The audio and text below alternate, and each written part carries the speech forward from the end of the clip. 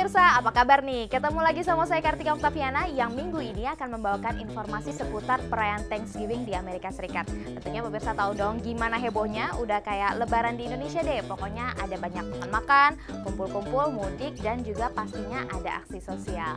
Nah di Amerika ada aksi sosial yang seru nih, makanya saya mau mengajak Anda untuk ke distrik pertokoan di Georgetown, Washington DC. Pada suatu hari yang cerah, sepenggal jalan utama di pusat pertokoan Georgetown ditutup dan diramaikan warga yang ingin jajan sambil beramal. I love eating. I'm a big fan of eating. So it, it does make the food taste a little bit better to know that I'm helping someone else uh, while I'm eating the food. Kevin adalah satu di antara lebih dari 8.000 orang yang hadir dalam Taste of Georgetown, acara tahunan yang mengumpulkan dana untuk lembaga nirlaba ibu kota yang membantu warga tunawisma. So we've got 30 of our best restaurants here in Georgetown showcasing some of their best dishes. Uh, and again, the proceeds go to the Ministry Center. 18 tahun lalu, Taste of Georgetown berskala kecil dan hanya menjual kue di halaman gereja. Sejak tujuh tahun lalu, acara berkembang menjadi festival dan dimeriahkan musisi lokal.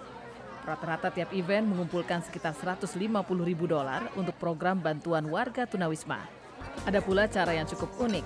Hasil penjualan ke-300 mangkuk ini akan diberikan kepada Capital Area Food Bank, pusat distribusi pangan nirlaba terbesar di Washington DC. They select one of the many bowls here for $25 and then they proceed inside and get a symbolic meal of soup and bread. So we have many different restaurants that have generously donated soup. Mangkuk-mangkuknya sendiri sumbangan para seniman, galeri, dan sekolah-sekolah di Washington DC. Separuhnya adalah sumbangan Jody, pemilik galeri di Georgetown. Amal bertajuk Empty Bowls ini mencerminkan kondisi banyak warga yang kelaparan di Washington DC.